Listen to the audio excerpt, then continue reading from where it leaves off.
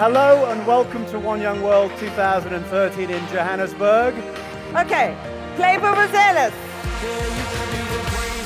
One Young World is a global summit for young leaders from this year 190 countries. There are tens of thousands of people who wanted to come.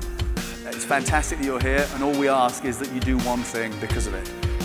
It's wonderful that David has taken One Young World to a position to do incredible things.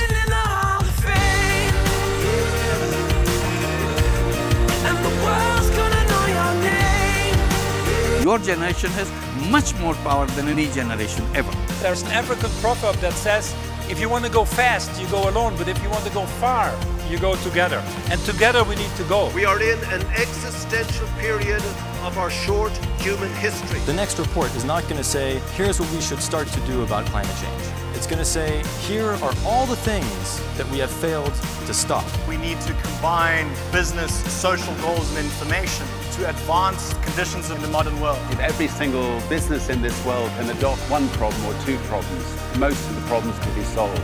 The Syrian crisis is a huge concern, with roughly 2 million refugees across the region.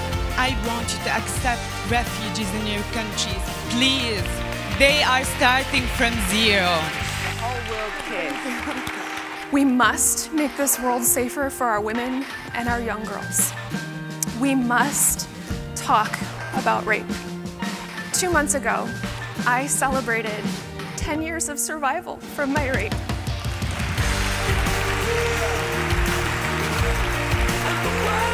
The abuse of women concerns us all, and we are going to rally the world to say, not in our name as men.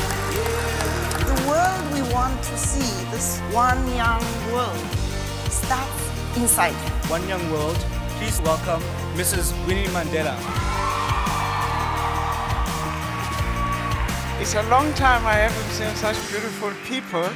You are the result of how the human spirit has the capacity to create a better and more humane world. I think the most important legacy of Madiba is uh, uh, reconciliation.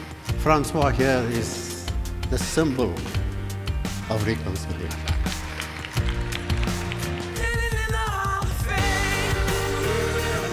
Find that place of stillness and strength inside you. Because from that place you are so powerful. The potential of this grouping is phenomenal. We have helped over 600 children from slums to schools within just one year. And so far, we've been distributed more than 42,000 school bags in three countries.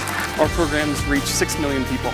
It'll be 9 million by the end of the year. If my burlap bag can literally give 60 million school meals, I can't wait to see what all of your ideas can do. You come up with the idea, and let's use this idea to change the world. If all of you go away from here and do one thing, there will be a lot of great stuff that happens in the world. Go from here and let's fix this thing together before it's too late. So start your own journeys, organize yourselves, and make a difference. What they're doing is seismic.